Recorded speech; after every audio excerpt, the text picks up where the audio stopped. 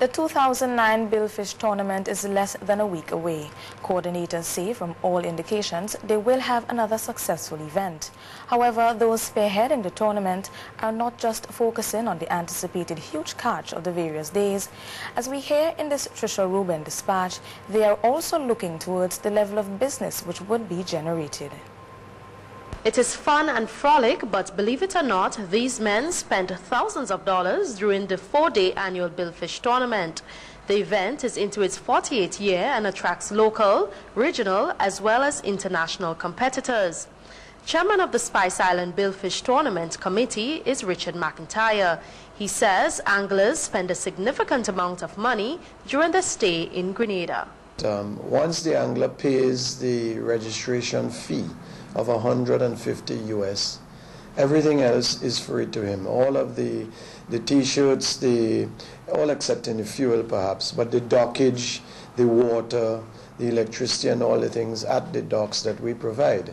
Um, of course, we buy the prizes, and we've been very fortunate to have had government's assistance with respect to the duty-free concessions on the prizes that we get, and we get a lot of prizes for all the various um, categories, and um, you know, so in, invariably, if you if you just simply take account of perhaps over 200 anglers at 150 US, it does represent a fair amount, and then one has to look at the visitors who come with them. They generally bring their wives, and they stay at hotels, and they rent cars, and they go around the island.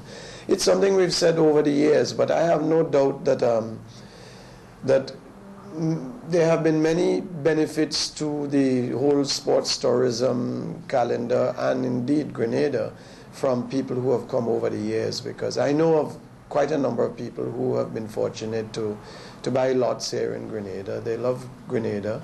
They have come here, they've built homes, and um, we'll never be able to really tabulate how much, but it's a substantial amount. I'd like to tell you it's half a million dollars, but I believe that um, you know, it all adds up in the end.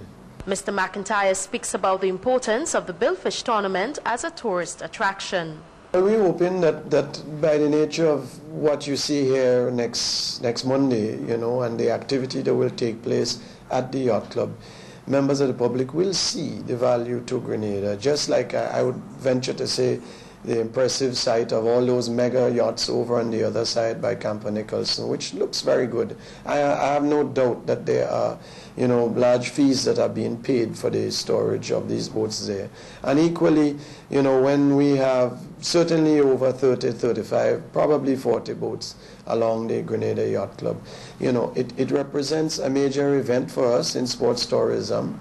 We have people flying in specifically for this tournament. And um, we see it as uh, making use of Grenada's uh, natural asset because it's something that is harnessed by us. We, we believe that um, if we can utilize the sports fishing uh, um, facilities that are available and indeed what's outside there in our waters, you know, we can promote it worldwide. And we have had already, we have people writing us to ask us for day by day um, event, uh, you know, information so they can put it on the website because we know that most of what's going on here has been sent certainly throughout the entire Caribbean. The annual Billfish tournament runs from January 20th to the 23rd.